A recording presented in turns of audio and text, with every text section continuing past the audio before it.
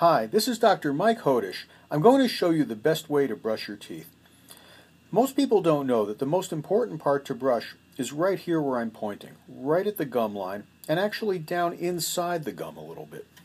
Where you see the edge of the gum, right here, and in your own mouth when you look in the mirror, the gum is actually not attached to the tooth right there. It's an elastic cuff like your sock around your ankle. You can stick something down inside that cuff, two or three or even four millimeters, before it hits bottom. And plaque grows down inside there, and it's very important to clean that out every day.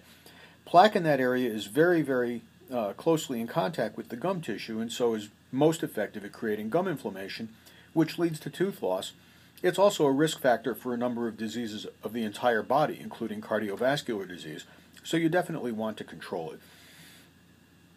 The best way to go after that is with a soft toothbrush. Many people think that a hard brush would clean better, but in fact that's not true.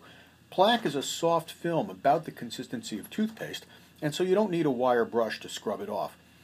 Conversely, the hard material that I'm scraping off your teeth when I clean them for you is calculus or tartar, and you know how hard I have to work on that even with a hardened steel instrument, so you're not going to dislodge that no matter what kind of toothbrush you use. Take your, soft, your soft toothbrush and inspect it each day. Look at it from the end. Make sure that the bristles are still straight and parallel. If it's starting to spread by more than about 10 degrees, that's when it's time to replace it. Notice I didn't say replace it every week or every month or every three months or six months. It's not a matter of time, it's a matter of condition. Once the brush tends to, tends to spread out, it won't work as well, so you've got to replace it at that point. There's no particular advantage to any of the fancy brushes that have little rubber fingers on them or any of that.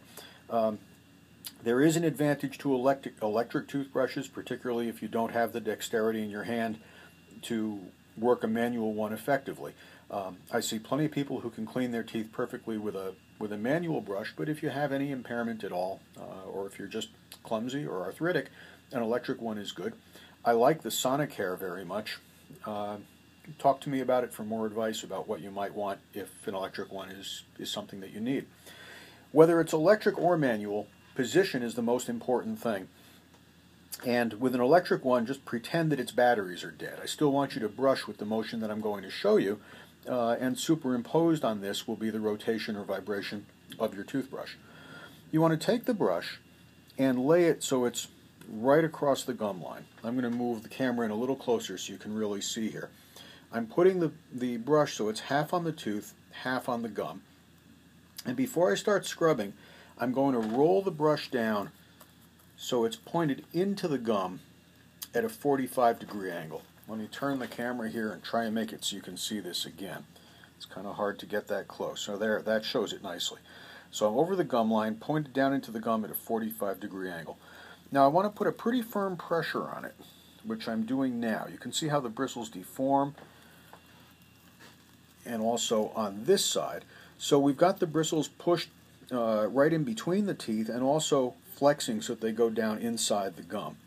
Now the motion is a short stroke, only about 3 eighths of an inch back and forth, 10 strokes in each place, and then advance around, always overlapping at least one tooth.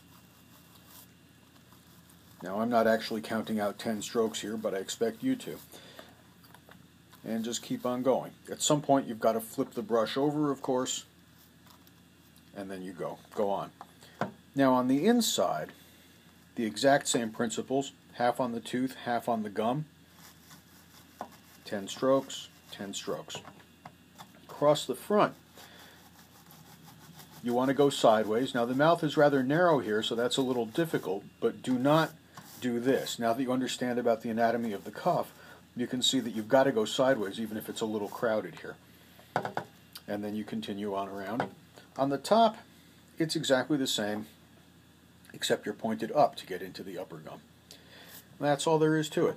Now, when you start doing this, you're going to find that you're touching some areas that you'd been missing before. They'll be a little bit inflamed, and the main symptom of that is that they'll bleed easily when you touch them with your brush or your floss. When you find bleeding, don't think that you're injuring yourself by brushing. It just means that you need to do it a little more there. It wasn't clean enough yesterday.